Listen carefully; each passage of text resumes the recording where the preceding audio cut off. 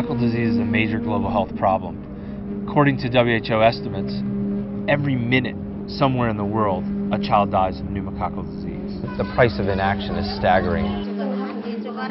In Nepal, many children suffer from this killer infection. At Patan Hospital in Kathmandu lies its latest victim, three-month-old baby Muna.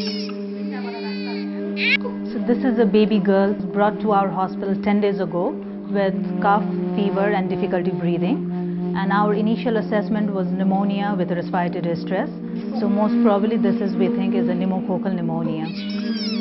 The bacteria, Streptococcus pneumoniae, is a major cause of meningitis and pneumonia. The most seriously ill tend to be the youngest children, whose immune systems have not yet fully developed. While some can be treated with antibiotics, the only real solution to this global health problem is prevention through vaccination. I'd be very glad if we did have a vaccine against pneumococcal disease. Less children would suffer. In the West, there is a safe and effective vaccine for pneumococcal disease, but it doesn't protect against all the strains commonly found in the developing world. In Soweto, a trial of 40,000 children has tested a vaccine which includes more strains of the disease. We were delighted with the results of the trial. The vaccine reduced uh, invasive pneumococcal disease by 65% in HIV infected children and by 83% in uninfected children. These results are crucial because children with HIV are up to 40 times more likely to get pneumococcal disease. So this vaccine will have a massive impact in countries with high rates of HIV. The results of the clinical trial are incredibly encouraging, but for us the work has only just begun. New studies are looking at extended protection vaccines to reach more children in the developing world. However, experts agree that we should begin using what we have now to save precious lives sooner. WHO is calling for countries to give a very high priority to introduce the available vaccine now and move to newer vaccines which will contain additional serotypes that are important in developing countries as and when these become available.